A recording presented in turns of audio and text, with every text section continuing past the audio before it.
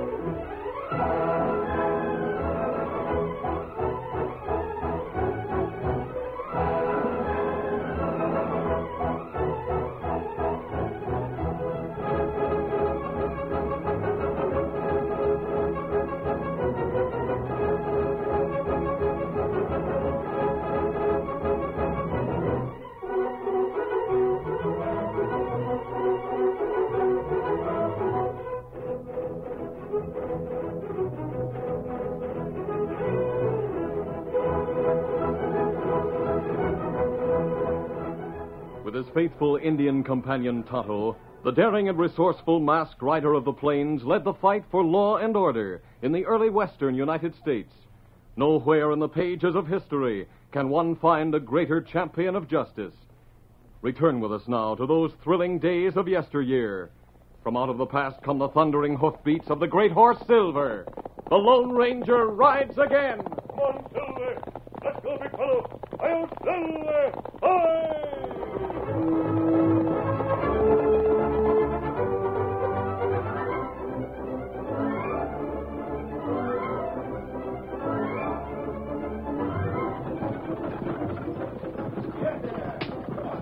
The stage from Red Rock to Hilton on the last stretch of its journey from St. Louis was still a few miles away from its destination. As it swayed and bumped along the narrow trail, Dan Reed, 14 year old nephew of the Lone Ranger who had boarded the stage at Red Rock, glanced now and then at the only other passenger in the coach, a well dressed young lady whose golden hair and fair complexion attracted Dan's attention. She had been dozing when Dan got on, but now she was awake, and from time to time she looked at Dan and half smiled. Finally, she spoke. You seem quite young to be traveling alone. Oh, I, I live out this way. I'm used to riding the stage, ma'am. Really? I should think your mother would worry about you. My mother isn't alive. I'm an orphan. Oh, I'm so sorry. Well, that's all right. I'm well taken care of. Oh, I'm glad of that. Do you live in Hilton? Not exactly. I'm staying near there for a while with friends. Oh, by the way, my name is Edna Murray. I'm going out to visit my uncle at the Circle Bar Ranch. I know where that is. My name is Dan Reed. Well, Dan, I hope we'll meet again after we get to Red Rock. Do you know my uncle, Clem Murray? No, ma'am, but I've heard of him. The Circle Bar is a big spread, one of the biggest out this way. Really? I didn't know that, though I did know it was quite prosperous. Uh, going to stay here long, Miss Murray? That depends upon Uncle Clem. I'd like to stay in the West permanently if possible. Golly, I'll bet he'll be glad to have you at the ranch. the way you say that is almost a compliment, Dan. Well, if I were your uncle, I'd want you to stay. Actually, Clem Murray isn't my uncle. You see, I was an orphan too, and Uncle Clem's brother adopted me and raised me as his own. Oh, I see. Uncle Clem has a daughter of his own named Harriet. I met her once when we were much younger, but, well, we just didn't get along at all. Harriet is a year or two older than I am. Gosh, I, I don't see how she couldn't like you, Miss Murray. you have a nice way of saying things, Dan. I'd like to have you as a friend, and I do hope you'll try to come and see me while I'm with Uncle Clem. Golly, I sure will. Look, we're going over the, the bridge there. There's a creek at the edge of town. Oh, then we're almost there. Yes. Just a minute, we'll be at the stage stop. Will someone meet you, Miss Murray? Oh, I hope so. I telegraphed I was coming today. If they don't, I'll find a way to get you to the ranch. Thank you, Dan. That's very nice of you. Oh, Here we are. Uh, is Edna Murray in there? Uncle Clem, how are you? Fine, fine. Climb out, Edna. Harriet's waiting in the buckboard over yonder. All right. Goodbye, Dan. Be sure to come out and see me. Oh, yes, sir. Oh, I'm so glad to get here. Well, you sure have grown into a beauty, Edna. Yes, sir. now, Uncle Clem, none of that. Get out, Dan, and meet Uncle Clem. Right. Glad to meet you, sir. Oh, I. You come all the way from St. Louis, too, boy? Oh, no, sir. I got on at Red Rock. Oh, well, I, I thought maybe Edna was bringing along her latest boyfriend with her. Oh, golly, no. if Dan were several years older, Uncle Clem, I might consider him as a boyfriend. He's especially nice. Gosh. Thanks, Miss Murray. Maybe I can help with your baggage. Say now, that's right nice of you, son. Here's the young lady's trunk coming down. Huh? Let her come, driver. Now, watch it. I got it. Ah, here's a carpet bag. That's all she brought. I'll take the carpet bag to the buckboard. Thank you, Dan. I reckon I can handle this trunk all right. Oh, there's Harriet in the buckboard right over yonder. Let's go.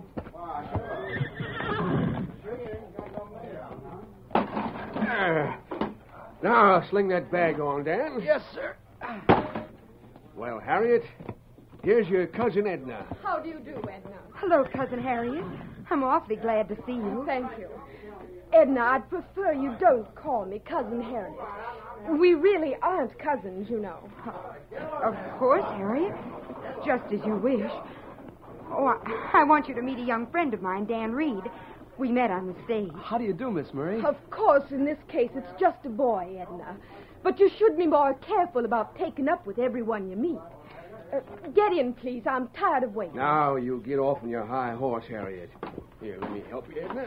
Thank you, Uncle Clem. I guess we can all ride comfortable on the front Oh, seat. one of us should ride in back. But never mind this time. Edna, I think you're old enough now to call Dad just Clem. Calling him Uncle is childish. Don't you think so? Maybe it is, but it's become a habit, that's all. And it's a habit I like, too. You call me uncle all you want, because I am your uncle by adoption anyway. Well, let's get on our way. So long, Daniel. Goodbye, Dan. Come and see me. I'll come out soon, Miss Edna. Goodbye. Goodbye. Get up there. Get up now.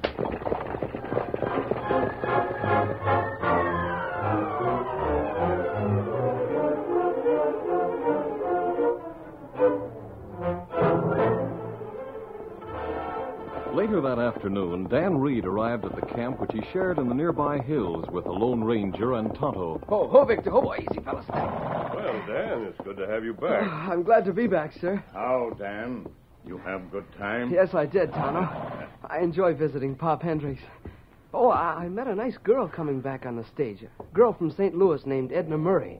Golly, she was pretty. I see. How old is this pretty girl, then? Oh, she's quite old, sir. About 20 at least. Oh, I'm not like hear you say that, Dan. I guess 20 does seem old to a boy of Dan's age. Uh, where was the young lady going, Dan? She got off at Hilton, and she's out here to visit her uncle at the Circle Bar Ranch. He isn't really her uncle. She was adopted years ago by Clem Murray's brother in St. Louis. I see. I've heard of Clem Murray, owner of the Circle Bar. I think he's a widower. He has a daughter named Harriet. I don't like her at all. Really? Where did you meet her? In town, sir. Mr. Murray and his daughter came to meet Miss Edna. Miss Harriet was kind of, well, unfriendly to the girl from St. Louis and said not to call her cousin or her father uncle. Mr. Murray said he didn't mind being called uncle, though. From what you say, Harriet Murray doesn't seem to have very good manners. Hmm, that's right. She looks cross and mean to me. I, I don't like her at all. So you said before. I hope she doesn't spoil Edna Murray's visit at the ranch. Golly, I, I thought of that, too. Miss Edna asked me to come out there to see her. Do you think it'd be all right, sir? I don't see why not, Dan, if you want to go. Gee, I, I think I'll ride out there tomorrow, then. Anyway, I, I want her to look at Victor. Does she like horses? I'm sure she'll like Victor, and he'll like her, too, I'll bet. Anyway, I'll, I'll go out there tomorrow afternoon and let them get acquainted.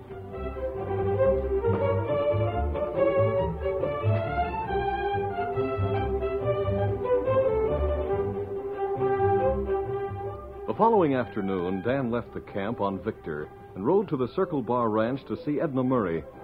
As Dan turned off the trail onto the entrance road to the ranch, a pleasant faced young man on horseback turned in beside him. Easy, boy. Easy there. Easy. Hello there, son. I hope you're not going in here to pay court to Miss Harriet.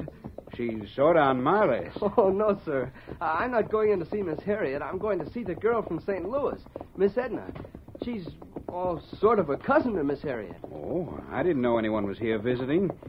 My name's Ned Hadley from the Bar Y over yonder. Mine's Dan Reed. Someday when my ranch prospers, I hope to ask Miss Harriet to, well, to be my wife. she don't hanker to marry up with a poor man like I am right now. Gosh, why does that make any difference? Oh, that's something I can't figure out, Dean. Maybe though she'll change her mind someday. I hope so, Mr. Hadley. Ah, here we are. Oh, there. Oh, Oh, oh, Victor, oh, Easy. Hello, Ned. It's so nice to see you. Good afternoon, Miss Harriet. I guess you met Dan, didn't you? Oh, yes, we've met. Oh, that's right. You're the boy who helped with the baggage in town, aren't you? Yes. Miss Edna said I could come out to visit her, so I thought. oh, poor Edna. I guess even a young boy like you is better than no company at all. She's in the kitchen helping the cook right now. I didn't know you had a visitor, Harriet, till Dan mentioned your cousin. Edna's just a poor relation, Ned. In fact, she's not really a relation at all. My uncle in St. Louis adopted her. My horse is already over at the corral, Ned. Shall we start on a ride? Well, maybe, uh, that is, Miss Edna'd like to go along. Oh, don't be silly. I'm sure she doesn't know the first thing about riding, or anything else for that matter, housework, perhaps. I bet she can do lots of things. Well, she has one champion anyway. You can go around to the back door, boy. Edna's back there in the kitchen, as I said before.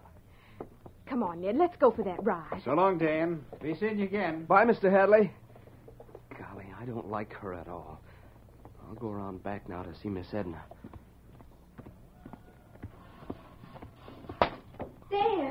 I saw you come around the side of the house. I'm awfully glad to see you. Thanks, Miss Edna. Now, that's Miss Harriet and Mr. Hadley from the next ranch going out for a horseback ride. Uh, do you ride, ma'am? No, Dan, I don't. I'm a little afraid to try. Gosh, I, I'd be glad to teach you. You could learn to ride on Victor. He's very gentle. Well, all right. When do we start? Golly, right now, if you say so. All right, come on. I'm sure you'll be a very good teacher, Dan. I know you'll learn quickly. In no time at all, you'll be a better rider than Miss Harriet is, I bet.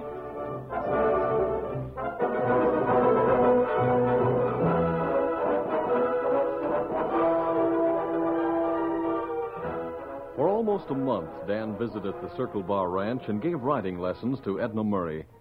One afternoon, after he had left the camp, the Lone Ranger spoke to Tonto. Dan says Miss Murray has learned to ride very well, Tonto. Ah. They go riding every afternoon up along the river. I'd like to see for myself just how well Dan has taught her. Well, maybe if we go up there, we see him. Yes, we'll ride up that way. Come on. Easy, big fella. Easy, Scout. Easy, fella. Come on, Phil. Get him up, Scout.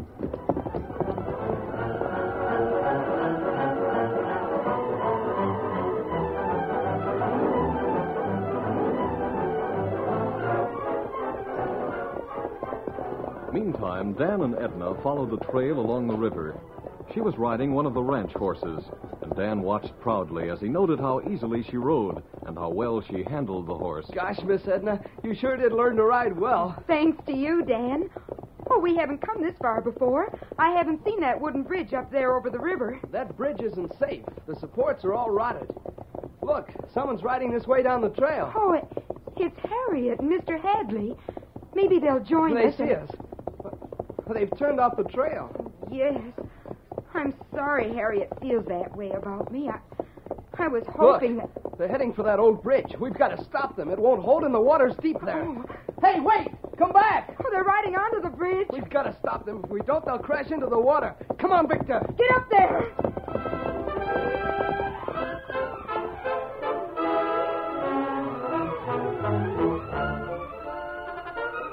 The curtain falls on the first act of our Lone Ranger story.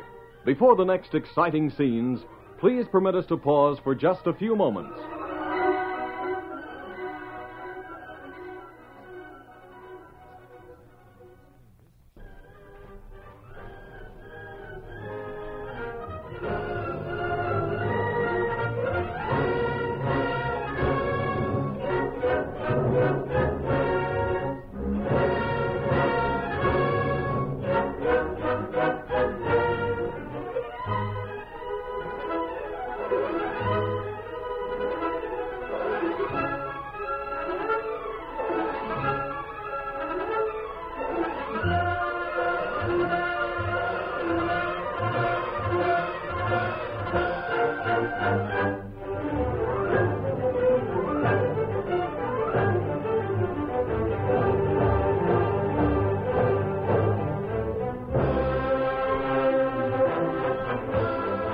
Now, to continue our story.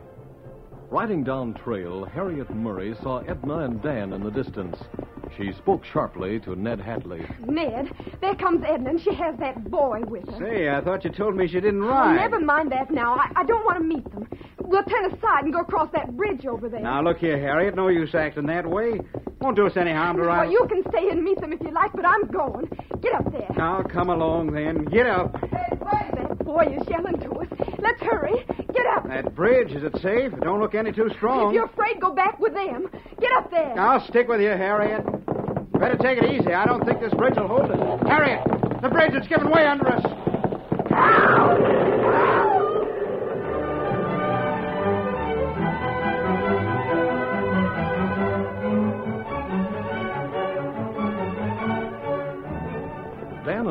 Were still several hundred yards away when they heard the bridge crashing. The bridge, it fell with them. Come on, Victor! Oh, how terrible. And Harriet can't swim. Get up, boy. Get up, Victor! I see Harriet down there. Oh, oh, Oh, there. now, watch. Mr. Hadley's clinging to a plank. He seems to be hurt. I'll try to help. Hastily, Dan and Edna removed their boots and jackets. Then, for a moment, they paused on the edge of the river and looked out over the water. Can you swim well, Dan? Yes, ma'am. Good, so can I. You see what you can do for Ned. I know Harriet can't swim a stroke. I'll go and try to bring her in. Come on. The Lone Ranger and Tonto had taught Dan Reed to be an expert swimmer, and as Dan and Edna swam toward Harriet and Hadley, the boy noticed that Edna, too, was an expert in the water. Within a few minutes, they reached the two victims of the bridge crash. Edna gave her attention to Harriet, who was struggling desperately to stay on the surface, while Dan went to Hadley. Gosh, he, he's unconscious. Must be hurt. I'll, grab that log and try to hold him up. Help! Help! Let, let go! Oh, you're, you're dragging me under. Oh, have to use force. I, I had to hit her, Dan. I, I can make it to shore now, I think. C- can you? No, no, I, he's too much for me.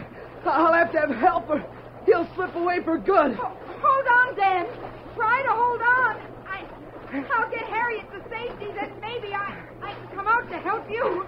You, you've got to hold on. You just have to.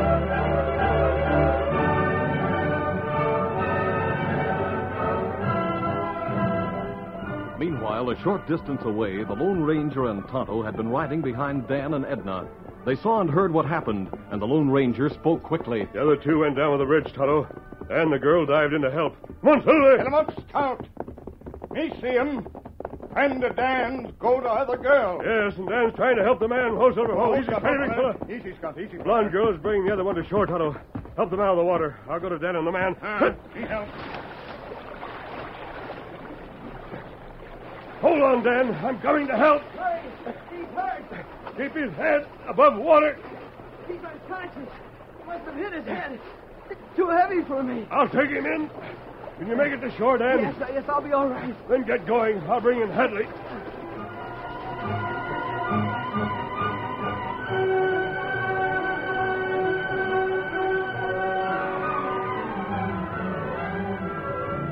On the shore, Tonto waited until Edna was close enough with Harriet.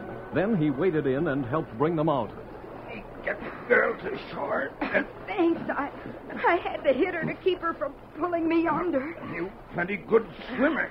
Uh, me put girl down here. Oh, my. I'm almost exhausted. Oh, but Dan and Mr. Hadley, I have to. No, no, you not get up. Then be all right. Oh. Now here come Dan, and friend bring in man. I thought they were goners. Me go help with young fella. Here, me help now. Good enough. You'll be all right. Got a slight blow on the head. Carry him there near the others. All right, put him here, Tonto. Uh, Why, he's masked. He's I... the friend I told you about, Miss Edna. Oh, oh, yes. Oh, we're so thankful you came along when you did. It was a narrow escape for them both.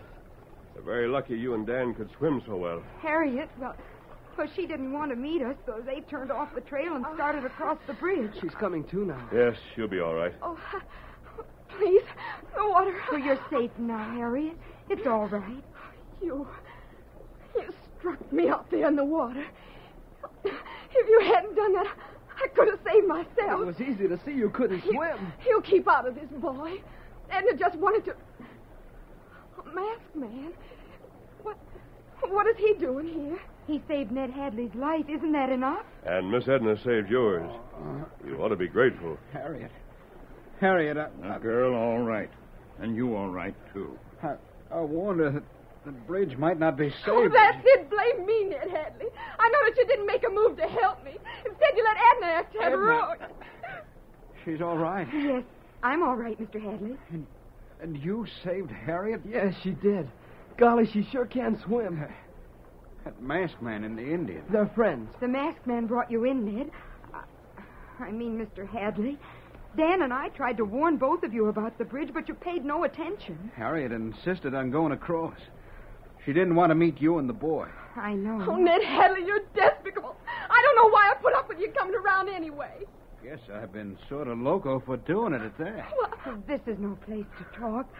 I think we ought to get to the ranch as quickly as possible and, and change into dry clothing. Yes, we can double up on the horses. The other two horses swam to shore and are probably on the way to the ranch right now. All right, let's get going.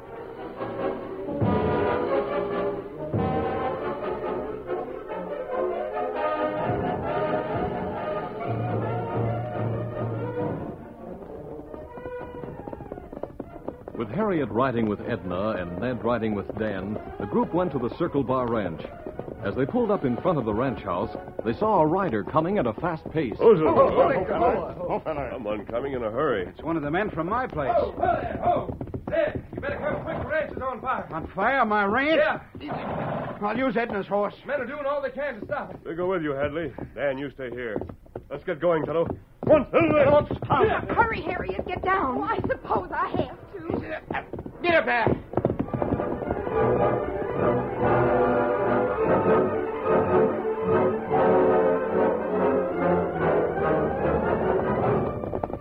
Silver. Easy, fella. There's a big headway, Hadley.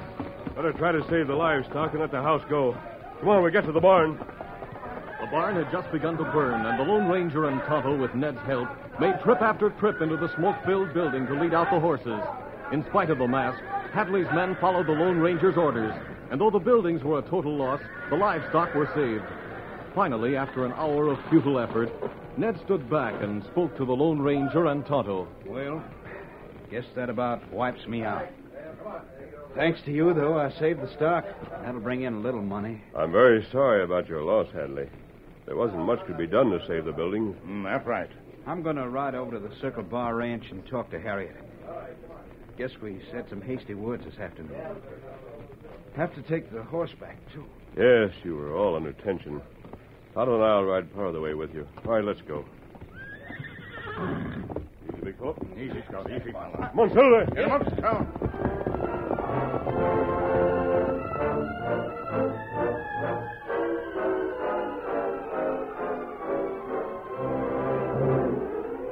Short time later, Ned arrived at the Circle Bar and was in the living room talking to Harriet. Well, Harriet, I lost about everything in the fire except the livestock. Thanks to Dan's two friends. Edna went with the boy and Dad by the back trail to see the damage. They should be back soon. I'm glad they aren't here right now. I, I wanted to talk to you. Really? As far as I can see, there's nothing to say, Ned. Frankly, we're not suited for each other. So anything you might have to say wouldn't make any difference. Ah, I'm glad you feel that way, Harriet. Glad? Yes, you see, I, I wanted to part friends, but I came over to say it was all a mistake. You and I going together, I mean. Well, Ned Hadley, of all things. But you just said that you thought. oh, it's really very funny. Before you were barely getting along at that ranch, but now you're really dead broke. You don't think for a minute that I'd ever consider uh, marrying. Harriet, we couldn't help but hear the ruckus you're making as we came up the porch. Dan and I shouldn't have come in. Why not? Seems to me Dan's coming around here has meant a lot to all of us. Harriet, you were wrong about one thing. Telling Ned off like you did. Well, it seems like Harriet don't want me around, and well, we just didn't get along anyway, like I come to tell her. Only she told me first. Oh, you mean you two are through going together, eh? Well, maybe that'll give you a chance with my niece, Edna. Dad, of all the things to say, I'm going to my room. Uncle Clem, you, you shouldn't really have joked with Harriet like that. Well, I wasn't joking, Edna. I've noticed the way Ned's been watching you since you've been here. Well, now, Mr. Murray, if Dan wouldn't think I was trying to cut him out. I... oh, golly, no. Now, just a minute. After all, I have something to say about all this. Of course, I... am sort of broke, and if you if you don't think I'm good enough to come calling on you, Miss Edna. Oh, Ned, I. Well, I'd be happy to have you call on me. It's just that I'm embarrassed to have Uncle Clem say that. I was thinking of it long before he said anything. You gotta believe that, Edna. What about it? Oh, of course, Ned. I I want you to. I mean, I... Gosh. Oh, golly. That's more like it. It seems like Dan, with the help of those friends of his you spoke of, has sort of played Cupid around here. Someday, Edna, when I get on my feet again, maybe. Why, uh, no well, use putting things off, Ned. You know, someday, Edna will own half this ranch. And I think maybe you and me can get together tonight and make some sort of a deal for your land and what little livestock you have. Say, that's great. Oh, Uncle Clem. Oh, I'll get the best of the bargain, don't worry. Ned, you're lucky. Edna was willing to let you come courting even when she thought you didn't have a cent. Yes, you two will get along fine. Gosh, uh, everything has sure turned out just about right. By the way, that masked man did so much for us, and I never did get to know who he is. Oh, I can tell you that, Ned. Dan told me he's known as the Lone Ranger.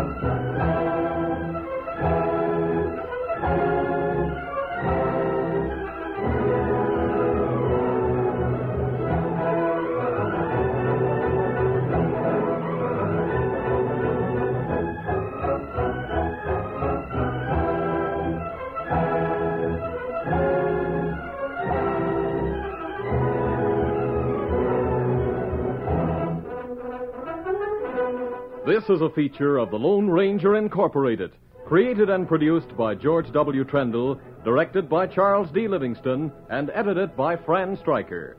The part of the Lone Ranger is played by Brace Beemer.